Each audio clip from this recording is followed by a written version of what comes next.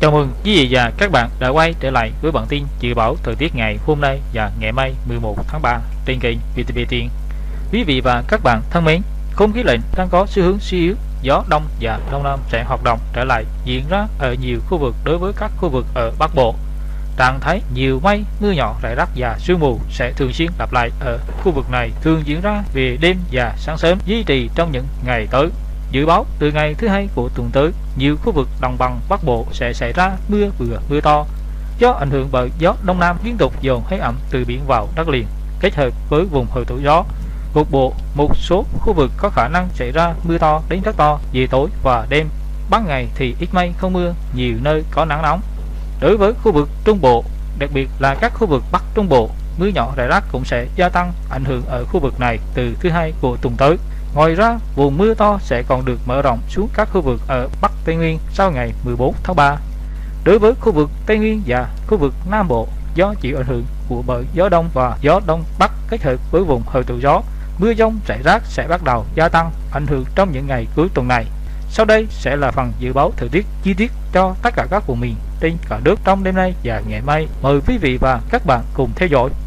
Dự báo khu vực Hà Nội trời nhiều mây về sáng và đêm có mưa phùn sương mù, gió đông nam cấp 2 cấp 3 sáng và đêm trời rác với nhiệt độ thấp nhất từ 17 đến 20 độ, nhiệt độ cao nhất từ 23 đến 25 độ Sáng đến thời tiết khu vực phía tây bắc bộ, sáng và đêm nhiều mây có mưa nhỏ, mưa phùn và sương mù rải rác riêng lai châu, điện biên có mưa vừa, nơi, trưa chiều giảm mây trời nắng, gió nhẹ sáng và đêm trời rắc, nhiệt độ sẽ tăng nhẹ từ 1 đến 2 độ với nhiệt độ thấp nhất từ 17 đến 20 độ, có nơi dưới 16 độ. Nhiệt độ cao nhất từ 22 đến 25 độ, riêng khu Tây Bắc từ 26 đến 29 độ, có nơi trên 29 độ.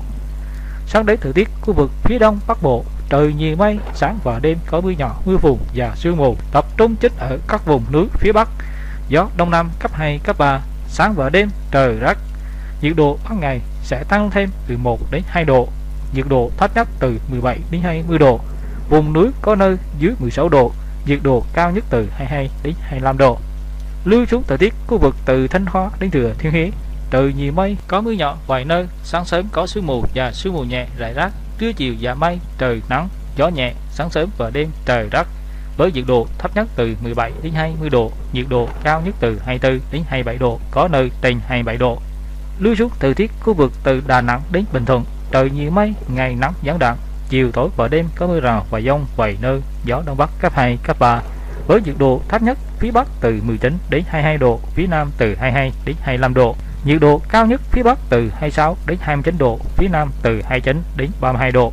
Sang đến thời tiết khu vực Tây Nguyên, đêm ít mây không mưa, ngày nắng, chiều tối và đêm có mưa rào và dông vài nơi, gió đông bắc đến đông cấp 2, cấp 3.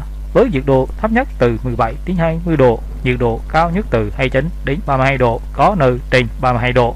Lưu xuống thời tiết khu vực Nam Bộ, đêm ít mây không mưa, ngày nắng, chiều tối và đêm có mưa rào và dông vài nơi, gió đông bắc đến đông cấp 2, cấp 3, với nhiệt độ thấp nhất từ 22 đến 25 độ, nhiệt độ cao nhất từ 31 đến 34 độ, có nơi trên 34 độ.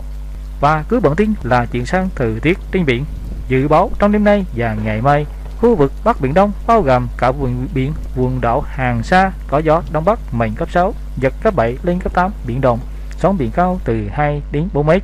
Vùng biển từ Quảng Trị đến Cà Mau, khu vực giữa Biển Đông và vùng biển phía Tây, khu vực Nam Biển Đông, bao gồm cả vùng biển phía Tây quần đảo Trường Sa có gió Đông Bắc mạnh cấp 5, có lúc cấp 6, giật cấp 7 lên cấp 8 biển động, sóng biển cao từ 2 đến 3 mét. Cảnh báo cấp độ rủi ro thiên tai do gió mạnh trên biển là cấp 2.